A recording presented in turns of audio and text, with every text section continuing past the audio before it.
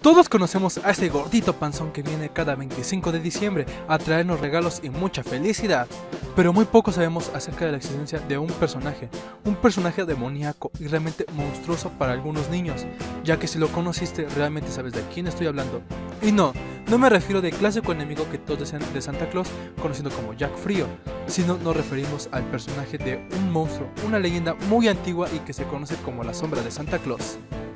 un personaje que prefieres que Santa Claus por haberte portado mal te traiga carbón, en lugar de que ese personaje venga por ti y te secuestre. Yeah, motherfuckers, yo soy Heraldo Coy y vamos a ver la historia del Krampus. Es un demonio que visita las casas en diciembre y que su nombre cambia dependiendo de la fuente de información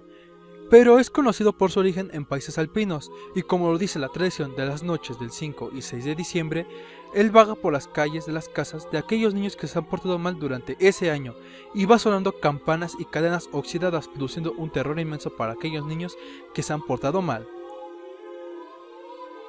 Cuando llega a la casa de la víctima, la toma y la mete en un saco con el cual él siempre carga, y al terminar la noche, él regresa al inframundo o al infierno, de donde él proviene, y obviamente acompañado de los niños que ha secuestrado por haberse portado mal durante ese año.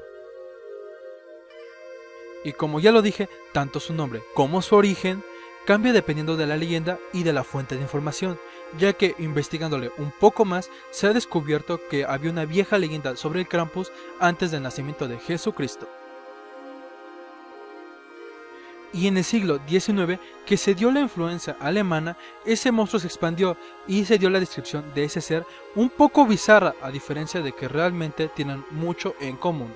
Y su descripción era esta, que era como un ser con cuernos grandes y largos como los de un carnero, unas patas de fauno, un pelaje negro que lo cubría de frío de aquella época, una lengua roja y larga y un rostro que varía dependiendo de la historia, pero con algo en común,